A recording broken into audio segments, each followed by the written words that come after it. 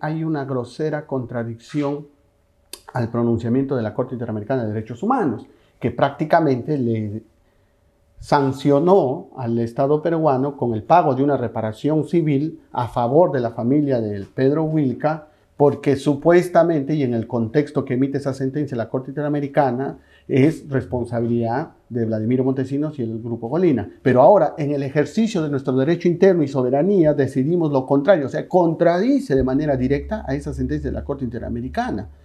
Entonces, ¿cómo queda eso? Es que es una, es una sentencia que emitió la Corte Interamericana sin haber terminado el proceso. O sea, se supone que... Y Toledo no debió allanarse. Pero por supuesto.